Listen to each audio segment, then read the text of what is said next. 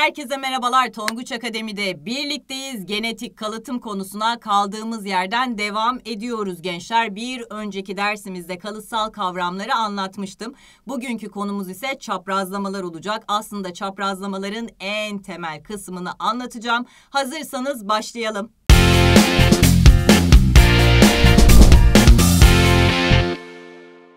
Şimdi çaprazlamalar dediğimiz zaman monohibrit çaprazlama ve dihibrit çaprazlama tabii ki bugünkü dersimizin konusu olacak. Monohibrit ne demek, dihibrit ne demek bunları anlatacağız. Arkasından da bunların belirli kuralları var. Bu kurallardan bahsedeceğiz. Dersimizi bitirdiğimiz zaman sıfırdan ona biyoloji kitabınızı açıyorsunuz. Aynı zamanda 10 dinamoyu da açıyorsunuz.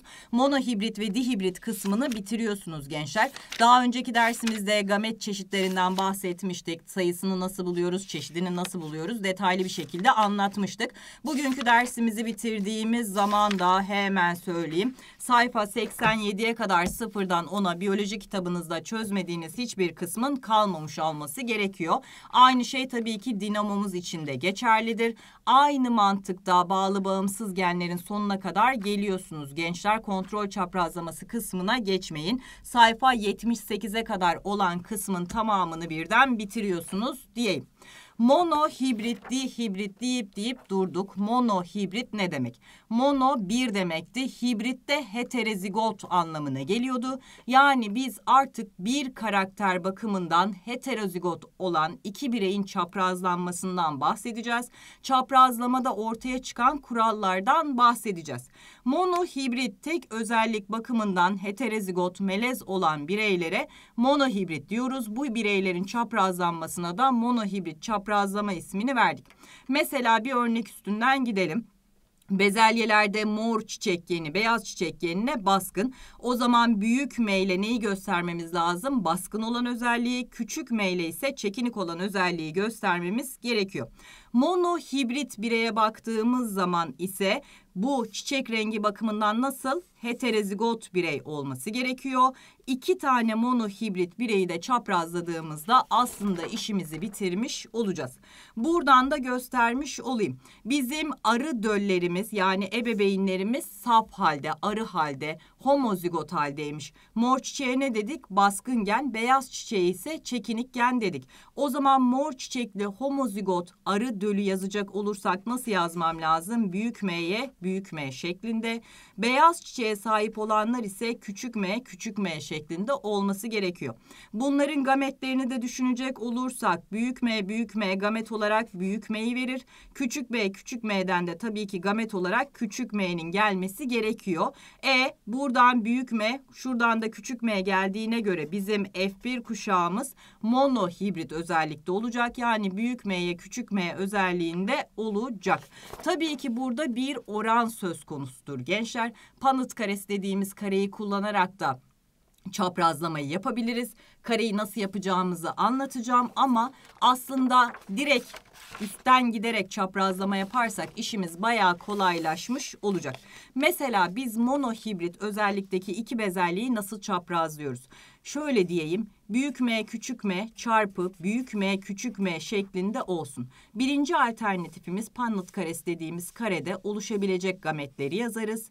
Büyük M küçük M odam büyük M gametini de verebilir, küçük M gametini de verebilir. Yine büyük M gametini de verebilir, küçük M gametini de verebilir diye yazarız. Sonra bunları oturtturmaya başlarız. Büyük M büyük M olabilir. Büyük M'nin yanına küçük M gelebilir veya büyük harfi başa yazarım. Büyük M'ye küçük M olabilir ya da küçük M'ye küçük M olabilir deyip oluşturabileceği tüm gametleri şu şekilde çıkartabilirim. Bu tekniği pek kullanmayacağız. Ne yapacağız? Bunu tutacağım, bununla yazacağım. Bunu tutacağım, bununla yazacağım.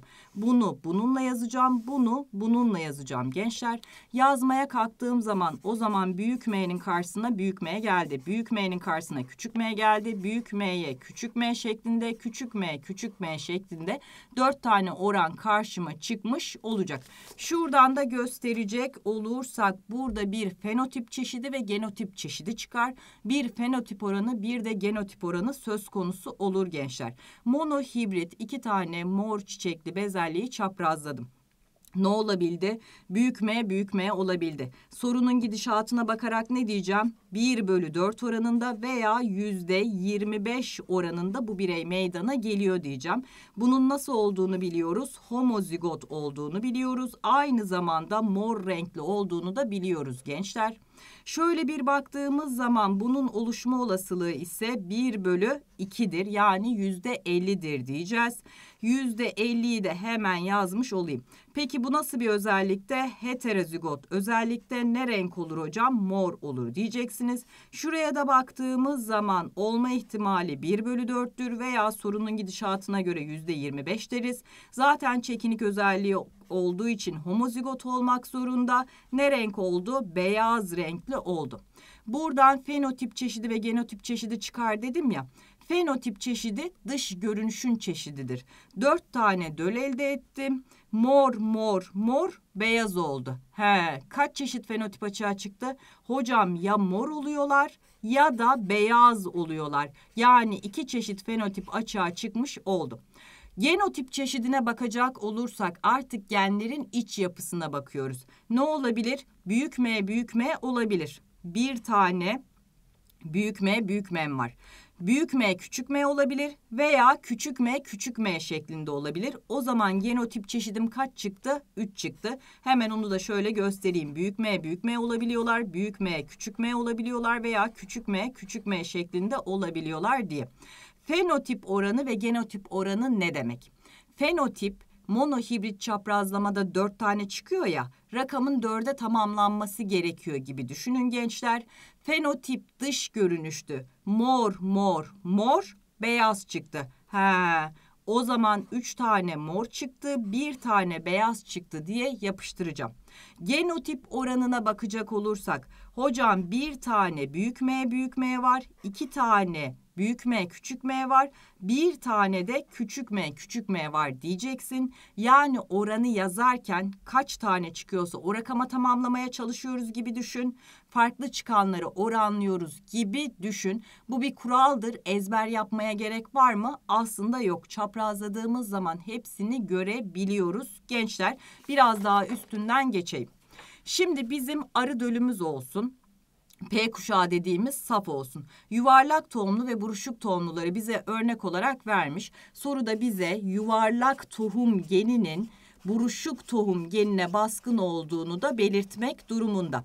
Baktım yuvarlak tohum genine ne demem lazım? O zaman büyük harfi vermem lazım. Atıyorum A diyeyim. Buruşuk olmaya da ne diyeceğim? Küçük A diyeceğim. Aynı harfin büyüğünü ve küçüğünü kullanmam gerekiyor. Yuvarlak tohuma baktığımız zaman arı döl, saf döl olduğuna göre bu nedir? Büyük A, büyük A şeklindedir. Buruşuk tohum zaten küçük A, küçük A olmak zorunda. Bunları çaprazlarsak buradan büyük A gelir, buradan küçük A gelir. Başka alternatif yok ki. Sen tutar da kendileştirirsen yani kendisiyle birebir aynı genotipte bireyle çaprazlarsan ne olacak? Her zamanki yaptığın çaprazlama. Bunu tut bununla yaz, bunu tut bununla. Ne yapman lazım? Sıra bu tarafa geçti. Bunu bununla yazacaksın, bunu bununla yazacaksın. Yazmaya başlayalım. Burası büyük A büyük A olur. Büyük A küçük A olur, büyük A küçük A olur veya küçük A küçük A olur hocam diyeceksin. Baktığında ne oluyor? Düzgün, düzgün, düzgün, buruşuk. Fenotip çeşidi kaç çıktı? 2. Fenotip oranı 3 tane yuvarlak var, bir tane buruşuk var hocam. Genotip çeşidine baktığın zaman baktık genotiplerine. Büyük A büyük A var, büyük A küçük A var, küçük A küçük A var. Genotip çeşidi 3 çıktı. Oran olarak da bir tane büyük A büyük A, iki tane büyük A küçük A, bir tane de küçük A küçük A. Yani 1 2 1 oranı söz konusu oluyor diyeyim gençler. Mendel tabii ki bu çalışmaları yaparken ayrılma ilkesinden ve bağımsız ilkesinden yararlandı. Bu kavramları ortaya attı. Ayrılma ilkesi ne demek? Bir karaktere ait allellerden her biri eşit olasılıkla birbirinden ayrılıyor ve farklı gametlere hareket ediyor. Gençler Mendel buna ayrılma ilkesi ismini verdi. Mesela büyük A'ya küçük A olsun ya büyük A'yı verecek ya da küçük A'yı verecek. Keza karşısı için de aynı şey geçerlidir. Büyük A baskın diye verilme oranı artmaz. Büyük A küçük A genotipine sahip adamın Büyük A'yı verme ihtimali de 1 bölü 2. Küçük A'yı da verme ihtimali 1 bölü 2'dir diyeyim. Az önce de Punnett karesini gösterdim gençler bu yöntemi kullanarak gamet çeşitlerini bulabiliyorduk. Bir de bu taraftan göstermiş olayım. Punnett karesi yöntemi genetik çaprazlama sonuçlarını tahmin etmede kullanılan bir diyagram yöntemi. Punnett karesinde erkek bireyin gametlerini bir tarafa yazıyorsun, dişi bireyin gametlerini bir tarafa yazıyorsun, içlerini doldurmaya başlıyorsun. Mesela erkek birey hangi gametleri verebildi? Ya büyük D'yi ya küçük D'yi. Dişi birey için de aynı şey geçerli. Ya büyük D'yi verecek ya küçük D'yi verecek. E doldurmaya başla. Büyük D'ye büyük D olabilir hocam. Büyük D'ye küçük D olabilir veya büyük D'ye küçük D olabilir. Büyük harfi hep başa yazıyorum aklımız karışmasın diye. Küçük D'ye küçük D olabilir diyeceksin. Hemen geçiyorum bir tane soruya. Heterozigot kıvırcık saçlı bir anne ve babanın doğan üç çocuğu da kıvırcık saçlı ise doğacak beşinci çocuklarının düz saçlı olma ihtimali nedir dedi. Sorunun altında kıvırcık saçlı olma geni düz saçlı olma genine baskındır diye de bize verdi. O zaman ben ne yapmaya başlayacağım? Kıvırcık saç genine büyük harfi vereceğim. İstediğin harfi verebilirsin fark etmez. Büyüğü küçüğü ayrı yazılan harfleri kullanırsanız hızlı yazımda birbirine karışmaz daha kolaylık olur. O zaman kıvırcık saç genine büyük A diyeyim. Düz saç genine ne demem gerekiyor? Küçük A demem lazım. Heterozigot kıvırcık saçlı bir anne ve baba dan bahsettiğimize göre anne büyük A'ya küçük A, baba da büyük A'ya küçük A. Ne yapıyorsun? Bunu tut bununla, bunu tut bununla, bunu bununla yazıyorsun, bunu bununla yazıyorsun. E yazmaya kalkayım. Büyük A büyük A olabilir, büyük A küçük A olabilir, büyük A küçük A olabilir veya küçük A küçük A olabilir. Bunların düz saçlı çocuklarının olma ihtimali şurası değil mi? Burası kıvırcık saç, burası kıvırcık saç, burası kıvırcık saç, burası ise düz saçtır. Bunun olma olasılığı sorunun gidişatına baktım yüzde 25 de diyebilirdim veya 1 bölü 4 şeklindedir diyeceğiz gençler. Bu soru kalıbında dikkat etmediğim kısım ne? Doğan bilmem kaç tane çocuğu kıvırcık saçlı, beşinci çocuğunun böyle olma ihtimali falan diyorsa da geçmişte olan olaylar benim şu anki durumumu etkilemez. Nasıl ki ilk derste anlatmıştım bir ailenin üç çocuğu erkek olmuş dördüncünün kız olma ihtimali kaçtır diye soruyor. İster hepsi kız olsun ister erkek olsun fark etmez. Yeni doğan bir çocuğun kız olma ihtimali 1 bölü 2'dir. Erkek olma ihtimali 1 bölü 2'dir gençler. Hepsi kıvırcık bu düz çıkar bir şey yok. Oran hep eşit hareket eder. Geldim diğer bir soruma. Dıt dıt genotipine sahip bireyin dıt dıt gametini oluşturma ihtimali hangi seçenekte verilmiştir? Bir önceki dersimizde A ve G A ve B genleri bağlı diye nasıl hesaplama yapılacağımızı uzun uzun anlatmıştım. Şekil çizerek biraz üstünden geçeyim. Şimdi normal şartlarda çok pratik bir şekilde de hesaplayabilirim ama görelim diye yazayım gençler.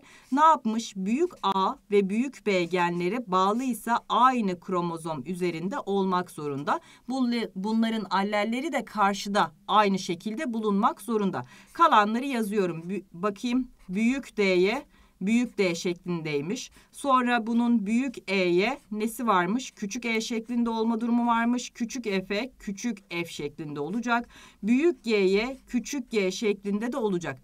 Bu gameti oluşturma ihtimalini sorduğuna göre crossing over vardır da demediğine göre yok olarak kabul edeceğiz. Şurayı düşündüğün zaman buradan küçük a'ya küçük b'nin gelme ihtimali nedir? Ya büyük a'ya büyük b'yi verecek ya da küçük a'ya küçük b'yi verecek. 1 bölü 2'dir diyeceksin.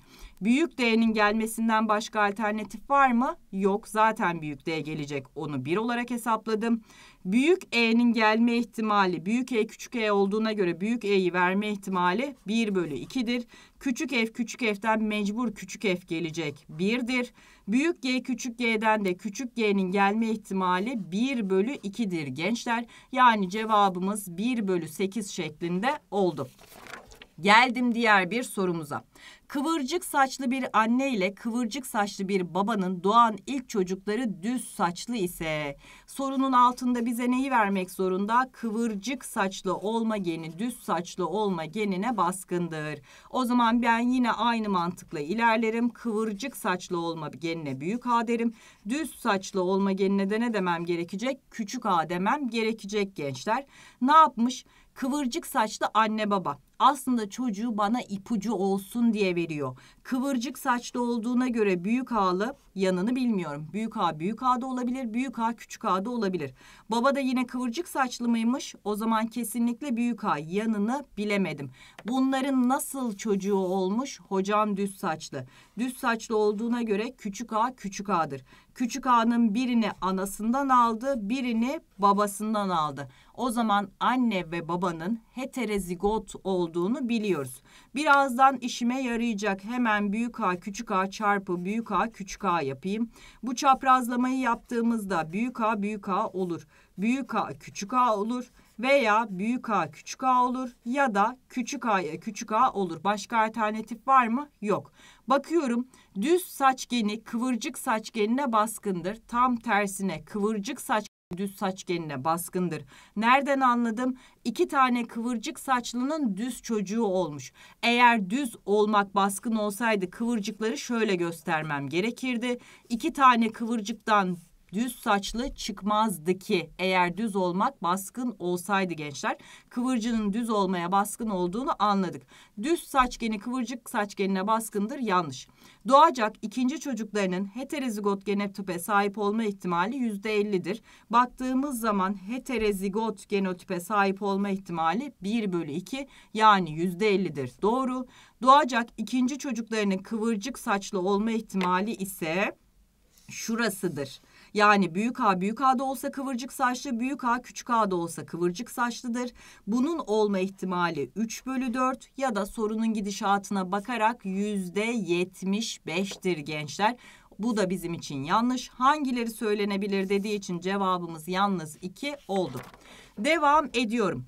Kürk rengi bakımından heterozigot genotipli bir canlı ile resesif genin özelliğini fenotipinde gösteren bir canlının çaprazlanması sonucunda büyük ağları kullanmamı istemiş.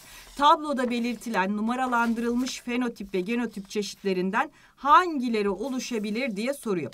Şimdi hemen şuraya yazayım. Kürk rengi bakımından heterozigot genotipli olduğuna göre büyük A'ya küçük A olması gerekiyor resesif genin yani çekinik genin özelliğini gösterdiğine göre karşı tarafında küçük a'ya küçük a olması gerekiyor. Normal çaprazlamadan hiçbir farkı yok. Bunu tut bununla yaz, bunu tut Bakayım görünüyor mu? Bununla, bunu bununla, bunu da bununla yazmaya başlıyorsun. Yazmaya kalkıştım. Büyük A'nın yanına küçük A alabilir. Veya büyük A'nın yanına küçük A ya da küçük A'ya küçük A, küçük A'ya küçük A şeklinde olabilir. Baktığımız zaman hangi fenotip ve genotip çeşitlerinden oluşabilir diye sormuşuz. Fenotipi büyük A olan çıkar mı? Çıkar hocam.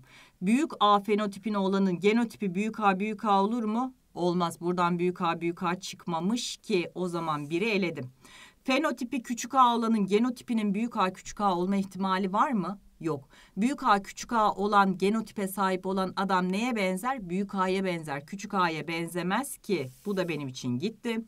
Fenotipi yani dışarıdan baktığında büyük A olanlar tabii ki büyük A küçük A olabilir. Bunu alacağım.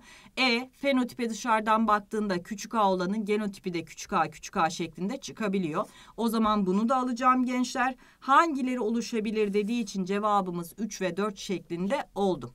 Geldim diğer bir sorumuza. Bir karakter bakımından heterozigot olan bireyin kendileştirilmesi sonucu oluşabilecek genotip çeşitlerini Punnett yön karesi yöntemiyle gösteriniz demiş. Klasik bir yazılı sorusu. Bir karakter bakımından heterozigot olduğuna göre o karaktere büyük A küçük A diyebilirim. Çaprazlamamı yapıyorum. Yani aslında bunun oluşturabileceği gametleri Punnett karesinde göstermemi istiyor. Ne yapıyordum? Birinin oluşturabileceği gametleri yukarıya yazıyordum. Büyük A'yı da verebilir, küçük A'yı da verebilir. Aynı şekilde diğerin içinde büyük A'yı da verebilir, küçük A'yı da verebilir diye yazıyorum ve kareyi doldurmaya başlıyorum. Büyük A büyük A'da olur. Büyük A'nın yanına küçük A'yı da alır. Büyük A küçük A'da olabilir veya küçük A küçük A'da olabilir diyeceğiz. Devam ediyorum. Tohum rengi bakımından sarı renkli iki bezelyenin çaprazlanması sonucu sarı ve yeşil bezelyeler oluşmaktadır. Ha. Şimdi biz kendimiz zaten biliyoruz sarı tohumlu olma geni yeşil tohumlu olma genine baskındır. Ama bilmeseydik de bu cümleden çıkartabilirdik. Tohum rengi bakımından iki tane sarı çaprazlamış. Oradan sarı ve yeşil çıkmış. Bir kere sarı olmak çekinik olsaydı iki tane sarıyı çaprazladığım zaman buradan yeşil çıkamazdı. O zaman neyi anlamış oldum? Sarı olmak baskındır, yeşil olmaya. Sarı olmaya büyük harfi veririm, yeşil olmaya küçük harfi veririm. Ne yapmışım? İki tane sarı renkli bezelyeyi çaprazlamışım. Sarı renkli iki tane bezelyeyi çaprazladığım zaman yeşil bezelye açığa mı çıkmış? Yeşil bezelye çıktığına göre o bu zaman bu iki tanesi de ne olmak zorunda? heterozigot olmak zorunda. Normal çaprazlamamı yapayım. Büyük A büyük A olabilir, büyük A küçük A olabilir, büyük A küçük A olabilir veya küçük A küçük A olabilir şeklinde oranımı buldum. Çaprazlanan bireylerin genotipini bulunuz. Çaprazlanan bireyleri bulduk. Sarı ve yeşil çıkabildiği için ikisi de heterozigot sarı renklidir oluşan sarı bezelyelerin genotip çeşitlerini bulunuz. Baktığım zaman bu sarı yani genotipi büyük A büyük A olabilir. Şunlar da sarı renkli o zaman büyük A küçük A olabilir. Oluşan yeşil bezelyelerin genotipi de küçük a küçük a olmak zorundadır gençler. Geldim dihibrit çaprazlamaya. Dihibrit çaprazlama dediğimiz zaman da artık iki karakter bakımından heterozigot bireyin çaprazlanmasından bahsediyoruz. Dihibrit iki birey çaprazlandığında bu işe tabii ki dihibrit çaprazlama ismini vereceğiz. İki monohibritin çaprazlanması anlamına gelir. Aslında ne yapıyoruz biliyor musun? Büyük A küçük A büyük B küçük B çarpı büyük A küçük A büyük B küçük B. Bu dihibrit iki karakter bakımından heterozigot. Bu da dihibrit iki karakter bakımından heterozigot. Bunun belli kuralları var. Punnett karesi üzerinde yazılım teknikleri var. Biz normal şartlarda test sorularını çözerken Punnett karesi çizmeyeceğiz. Ne yapacağız? Genetikte her zaman ne diyorum? elmayı elmayla çarpıp armutu armutla çarpacaksın. Sonra bunların birbirleriyle çarpımını gerçekleştireceksin. Yani sen birinin mavi gözlü, uzun boylu olma ihtimaline bulmak istiyorsan önce mavi gözlü olma ihtimalini bulacaksın. Sonra uzun boylu olma ihtimalini bulacaksın. İkisini birbirine çarptığın zaman da hem mavi gözlü hem uzun boylu olma ihtimalini bulmuş olacaksın. Dihibrit çaprazlama diye öğreteceğim şey monohibrit çaprazlamanın iki katı. İkisinin birbiriyle çarpılması gibi düşünün. Aslında büyük A küçük A çarpı büyük A küçük A yapacağım. Büyük B küçük B çarpı büyük B küçük B yapacağım. Bulduğum sonuçları birbirine çarpacağım. O zaman dihibrit çaprazlama oluyor. Bezelyelerde tohum rengi karakterine ait allel sarı renk hallerini büyük S ile gösterdik. Yeşil renk hallerini de çekinik olduğu için küçük S ile gösterdik. Yuvarlak düzgün tohum genini büyük D ile, buruşuk tohum genini de küçük D ile göstermiş olalım. O zaman bir başlayalım neler çıkabiliyor. Benim bunlar paranetal döl dediğimiz saf döllerimiz homozigot özellikle. Sarı renkli düzgün tohumlu olabilmesi için o zaman bunun büyük S, büyük S, büyük D, büyük D olması lazım saf döl oldukları için. Yeşil renkli buruşuk olması için de küçük S, küçük S, küçük D, küçük D olması gerekiyor. Buradan oluşabilecek gamet nedir? Gametine ya büyük S'yi verecek ya büyük D'yi verecek. Başka alternatif var mı? Yok. Aynı şey burası için de geçerli küçük s'ye küçük d'den başka alternatif yok. Yani gamet çeşitleri zaten bir olmak zorunda. F1 dölü dediğimiz zaman da bu iki gamet birleşirse büyük S küçük S büyük D küçük D. Yani F1 dölümüz ne özellikte olacak gençler? Dihibrit özellikte olacak. İki karakter bakımından heterozigot olacak. Devam ediyorum. F2 neslini nasıl buluyorduk? F1 dölünü kendileştirdiğimiz zaman F2 neslini bulunuyorduk. Yani benim çocuğum F1, çocuğumun çocuğu ise F2 dölü oluyor. Torun gibi düşünebilirsiniz. F1'e ne dedik? Büyük S'ye küçük S, büyük D'ye küçük D şeklindeydi. Aynı mantıkla düşünürsek burası da büyük S'ye küçük S, büyük D'ye küçük D olmaz mı? Biz daha önce gamet çeşidi bulmayı biliyoruz. Büyük S, küçük S, büyük D, küçük D adam dört çeşit gamet oluşturabilir. Büyük S'ye büyük D olabilir. Büyük S'ye küçük D olabilir. Küçük S'ye büyük D olabilir. Küçük S'ye küçük D olabilir. Aynı şey burası için de geçerli. Büyük S'ye büyük D olabilir. Büyük S'ye küçük D olabilir. Küçük S'ye büyük D olabilir. Küçük S'ye küçük D şeklinde olabilir gençler. Ne yaptık? Bir de tuttuk bunu Punnett karesinde yazmaya kalktık. Yani bunun oluşturabilecekleri gametleri bu sıraya yazdım. Bunun oluşturabileceği gametleri bu sıraya yazdım. Sonra içlerini doldurmaya başladım. İçlerini doldurduğum zaman tabii ki doldurmuşunu kullanıyoruz gençler tek tek yazmayalım diye ama yazabilirdik. Büyük S'ye büyük S, büyük D'ye büyük D. O zaman burası büyük S, büyük S, büyük D, büyük D olur gibi hepsini doldurabilirdik. Doldurduğumuz zaman kaç oran kaç kutu çıktı? 16 tane oran 16 tane kutu açığa çıkıyor. Demek ki ben bunda bir oran bulacağım zaman rakamın 16'yı tamamlaması gerekecek gençler. Kutunun içindekileri saymaya da kalkarsak. Şimdi bizim fenotip olarak bakarsak sarı ve düzgün tohumdan bahsediyorduk ya. Sarı düzgün tohumlu olabilirler veya sarı buruşuk tohumlu olabilirler veya yeşil düzgün veya yeşil buruşuk tohumlu olabilirler. Kutunun içini saymaya kalktığın zaman sarı ve düzgün olanlar 9 tane. Sarı ve buruşuk olanlar 3 tane, yeşil ve düzgün olanlar 3 tane, yeşil ve buruşuk olanlar 1 tane şeklinde çıkıyor. O yüzden diyoruz ki dihibrit çaprazlamada kural olarak 4 çeşit fenotip, 9 çeşit genotip açığa çıkar.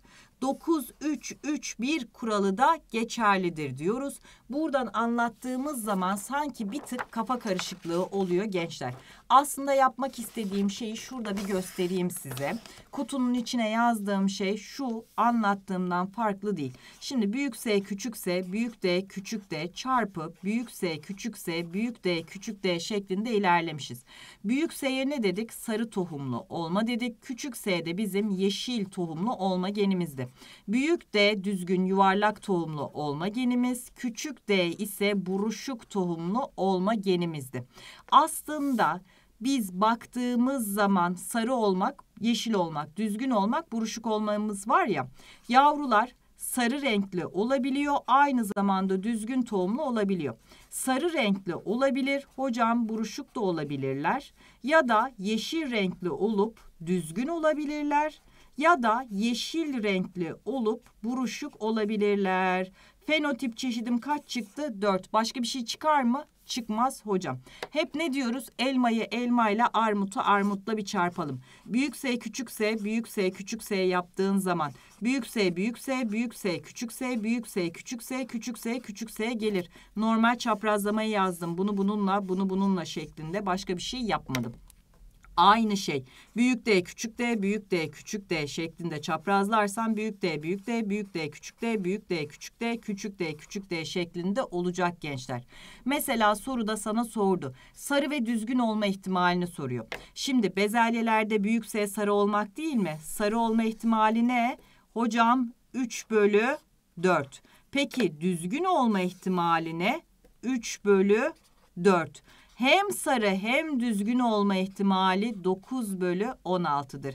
Burası için de aynı şey geçerli. Sarı olma ihtimali 3 bölü 4. Buruşuk olma ihtimali şurası buruşuk olduğuna göre 1 bölü 4'tür. O zaman hem sarı hem buruşuk olma ihtimali 3 bölü 16'dır gençler.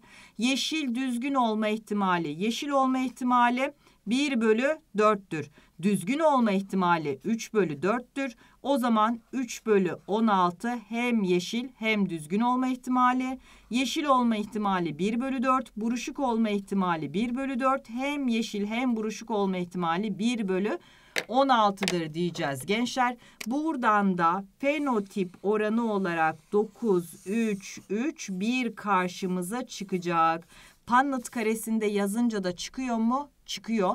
Punnett karesine normalde kullanırsak soruları çok uzun sürede çözeriz gençler. Benim bu yaptığım yöntem çok kısa bir yöntemdir. Sadece size göstermek için uzun uzun yazdığım için biraz vaktimizi alıyor. Normalde sana yazdı şu iki genotipe sahip birey çaprazlandığı zaman sarı düzgün tohum olma ihtimali nedir dedi. Sen hemen dedin ki büyük S küçük S çaprazlamasını yaptın. Sarı olma ihtimali 3 bölü 4.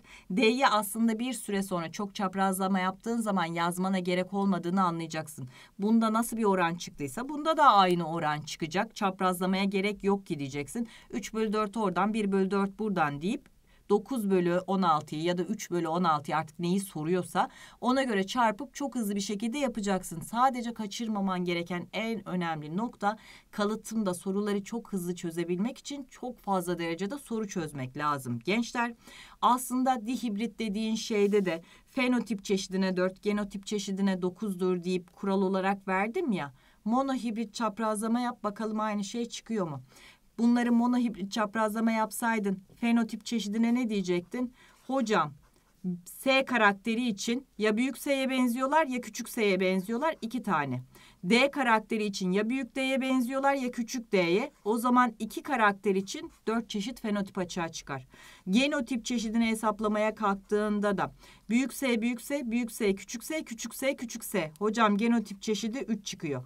D'ler için de aynı şey geçerli. Ya büyük D, büyük D, büyük D, küçük D, küçük D, küçük D olabiliyorlar. Yani 3 de buradan geliyor. 3 kere 3, 9 şeklinde yazıp geçeceksin. Aslında ezberlemen gereken bir kural yok e, her şey monohibrit çaprazlamadan çıkıyor. Şurada da bir göstermiş olayım.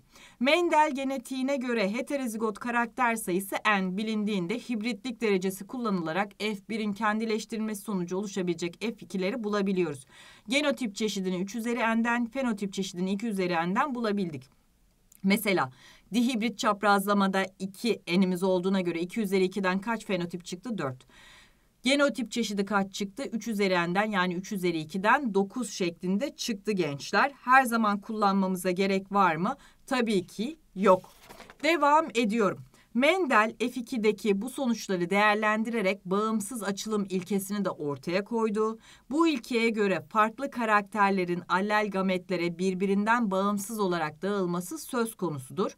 Bu nedenle özelliklerin ortaya çıkardığı fenotipler yeni bireylerde tahmin edilen oranlarda ortaya çıkmış oluyor. Mesela büyük S, küçük S, büyük D, küçük D genotipine sahibin büyük S, büyük D'yi verme ihtimali 1 bölü 4. Büyük S küçük D'yi verme ihtimali 1 bölü 4. Küçük S büyük D 1 bölü 4. Yani birbirine eşit ihtimallerle gidiyorlar gençler. Hemen sorumuza da bakalım. Bir öğrenci aşağıdaki çaprazlamayı yapıyor. Fenotiplerine sahip bireylerin oluşma olasılıkları aşağıdakilerden hangisi gibidir? elmayı elmayla armutu armutla ben şu kenarda bir çarparım. Öncelikli olarak büyük A küçük A çarpı büyük A küçük A dediğimiz zaman normal çaprazlamaya devam ediyorsun. Sırayla yazıyorsun. Büyük A büyük A büyük A küçük A büyük A küçük A küçük A küçük A olur hocam diyorsun. B'leri de kendi içerisinde çaprazlıyorsun. Büyük B küçük B büyük B küçük B çaprazladığımda büyük B büyük B olur, büyük B küçük B olur, büyük B küçük B olur, küçük B küçük B olur diyorsun. Bizden ne istemiş? Unutma fenotipinden bahsetmiş. Neyi istiyorum? Küçük A'ya büyük B fenotipinde olsun istiyorum küçük a fenotipinde olabilmesi için ne olması lazım? Küçük a küçük a olması lazım. Bunun gelme ihtimali ne? 1 bölü 4. Büyük B fenotipi şuranın tamamı kurtarır. 4'te 3 olduğuna göre o zaman büyük B fenotipinde olma ihtimali 3 bölü 4'tür. Yani şu fenotipin açığa çıkma ihtimali 3 bölü 16'dır. Bunu şuradaki karenin içine aldım. Birin olma ihtimali 3 bölü 16'dır diyeyim. Rengi değiştirelim. Büyük A'ya büyük B olmasını istiyorum. Büyük A fenotipinde olma ihtimali 3 bölü 4 hocam. Sonra büyük B fenotipinde olma ihtimali de 3 bölü 4 hocam. Bu fenotipe sahip olma ihtimali 9 bölü 16'dır hocam diyeceksin. Buradan da 9 bölü 16'ları işaretlemiş olacaksın. Gelelim diğerine. Diğeri de büyük A'ya küçük B şeklinde olsun demiş. Büyük A'ya benzeme ihtimali 3 bölü 4'tür. Küçük B'ye benzeme ihtimali 1 bölü 4'tür. ikisine aynı anda benzeme ihtimali 3 bölü 16'dır. O zaman üçüncüye benzeme ihtimali de 3 bölü 16 şeklinde olacak gençler. Hepsini aynı anda tiklediğimiz D seçeneği oldu. Bir süre sonra şu çaprazlamayı yapmadan bunları uzun uzun yapmadan tabii ki çözebilecek hale geleceksiniz diyeyim. Diğer bir soruma da geçiyorum. Heterozigot sarı düzgün tohumlu iki bezelyenin çaprazlanması sonucunda oluşması beklenen fenotip oranlarıyla ilgili yargılarından hangileri doğrudur diyor. En zor dediği soru tipi budur gençler. Bakalım ne kadar zormuş. Şimdi heterozigot sarı düzgün tohumlu diyor. Mesela sarı olmaya şurada aklım karışmasın yazayım büyük A diyeyim. Yeşil olmaya da o zaman küçük harfini vereceğim. Düzgün tohumlu olmaya başka bir harf veriyorum büyük B. Buruşuk tohumlu olmaya da bunun küçüğünü vermem gerekiyor. Küçük B şeklinde olacak. Heterozigot sarı düzgün tohumlu dediğime göre büyük A küçük a düzgün tohumlu dediğime göre büyük B küçük B şeklinde olması lazım. Çaprazlamamı yapıyorum, yazıyorum. Her zaman da ne yapın dedim? Kenarda bunları kendi içinde çaprazlayın. Çaprazladığımda büyük A büyük A oldu, büyük A küçük A oldu, büyük A küçük A oldu, küçük A küçük A oldu diye B'leri de yine kendi içinde çaprazlıyorum. Çaprazladığımda büyük B büyük B oldu, büyük B küçük B oldu, büyük B küçük B, küçük B küçük B şeklinde oldu. Bakıyorum hem sarı olsun hem düzgün olsun istiyorum. Sarı olma ihtimali 3 bölü 4 düzgün olma ihtimali 3 bölü 4. Yani hem sarı hem düzgün olma ihtimali 9 bölü 16'dır gençler. Yeşil olma ihtimali küçük a küçük a yani 1 bölü 4. Düzgün olma ihtimali 3 bölü 4. Demek ki yeşil düzgün olma ihtimali 3 bölü 16'dır. Baktığımız zaman sarı düzgün olma ihtimali tabii ki daha yüksek. Yeşil buruşuk bezelye oluşma olasılığı yeşil olma ihtimali küçük a küçük a olması lazım. Küçük b küçük b olması lazım. Yeşil olma ihtimali 1 bölü 4. Buruşuk olma ihtimali 1 bölü 4 yani 1 bölü 16'dır. En düşük oran bunda tabii ki doğru. Sarı buruşuk bezelye oluşma olasılığı sarı olsun istiyorum. Sarı olması için 3 bölü 4 olması lazım. Buruşuk olması için de 1 bölü 4 olması lazım. Yeşil olması ve düzgün olmasını eşittir diyor. Yeşil olma ihtimali 1 bölü 4, düzgün olma ihtimali 3 bölü 4'tür gençler. O zaman birbirine eşit çıktı. Yargılarından hangileri doğrudurun cevabı tabii ki E seçeneği oldu. Geldim diğer bir soruma. Mendel yaptığı monohibrit ve dihibrit çaprazlamalar sonucunda sonuçlarından hangilerine ulaşmıştır diyor. Karakterlerin genler tarafından belirlendiğine Mendel ulaştığı o zamanlar gen kavramını bilmiyordu. Dedi ki bazı kalıtsal özellikler var. Bu özellikler nesilden nesile aktarılıyor. Biz zaman içerisinde bahsettiği şeyin gen olduğunu anladık. Bir karakter belirleyen allel genler arasında eş baskınlığın bulunabileceğini Mendel bulmadı. Mendel'den sonraki yapılan çalışmalarda eş baskınlık ortaya çıktı. Biz de daha henüz o konuyu anlatmadık. Bir karaktere ait allel genlerin gametlere eşit olasılıkla gittiğini söyledi. Büyük A küçük A adamın Büyük A'yı verme ihtimali de 1 bölü 2, küçük A'yı verme ihtimali de 1 bölü 2'dir dedi. Hangilerine ulaşmıştırın cevabı da 1 ve 3 oldu. Devam ediyorum diğer bir sorumla.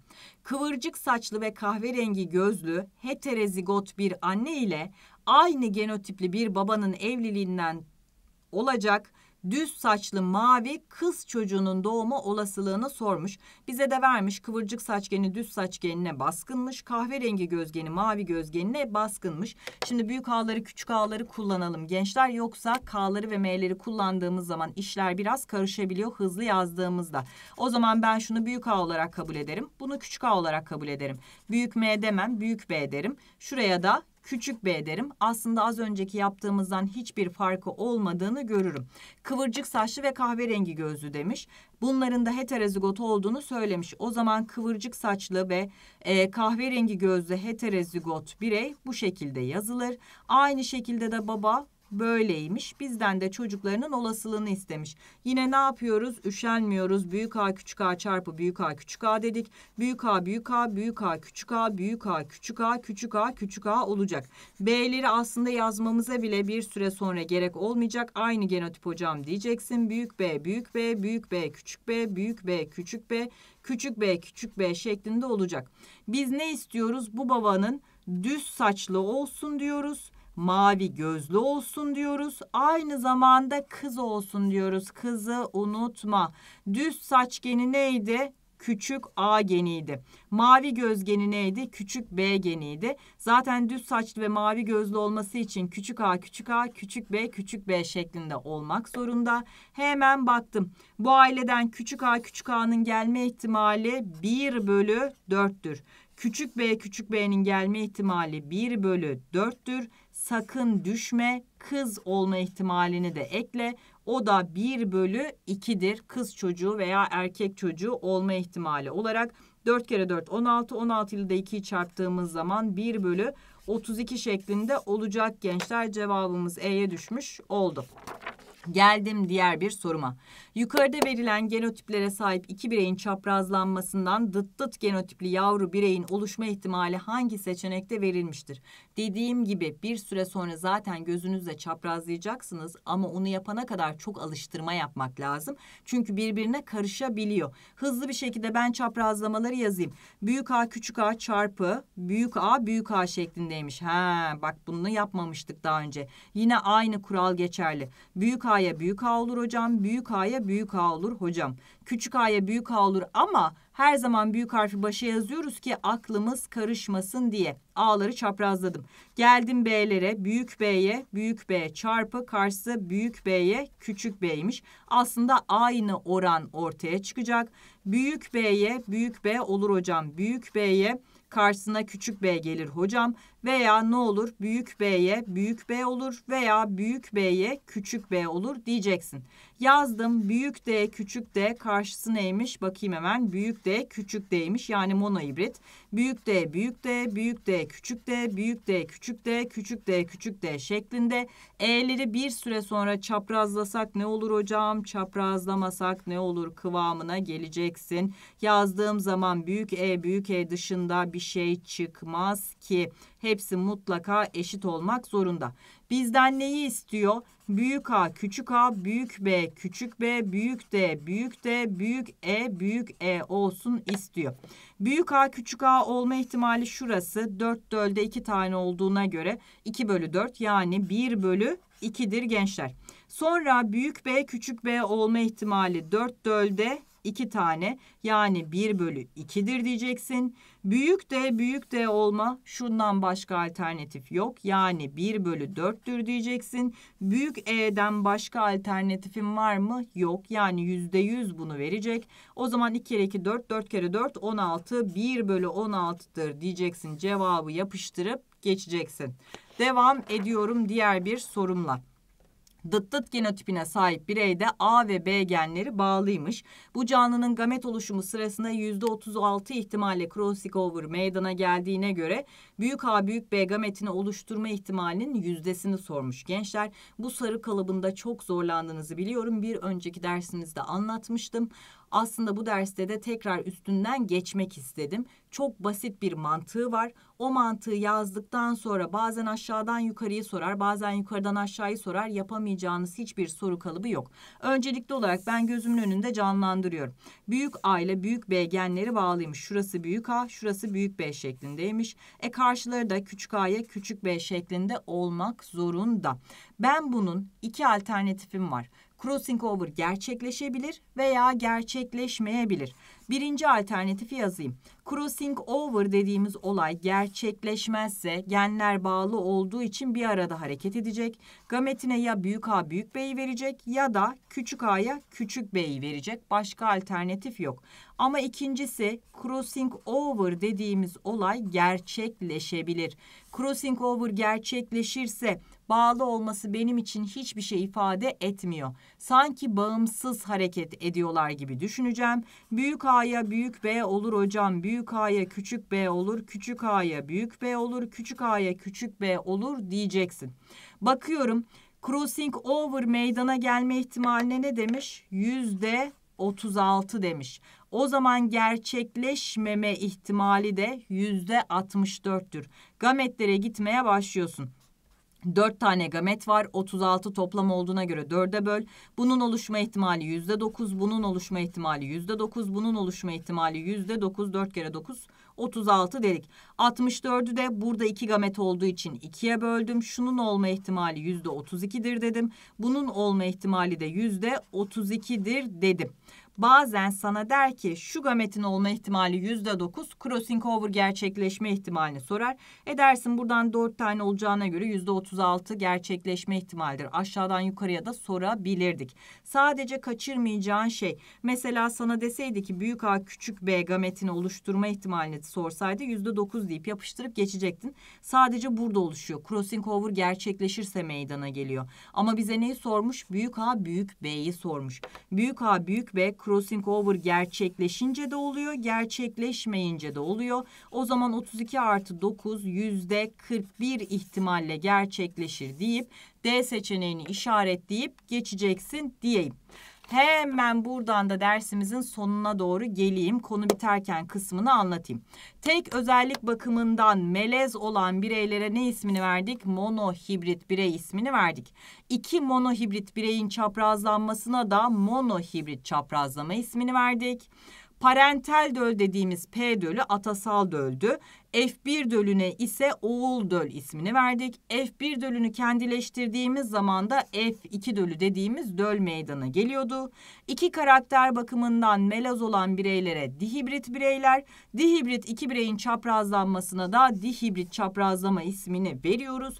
Mendel'in açıkladığı şeyler ayrılma yasası, benzerlik yasası, bağımsız dağılım yasası dediğimiz yasalardır gençler.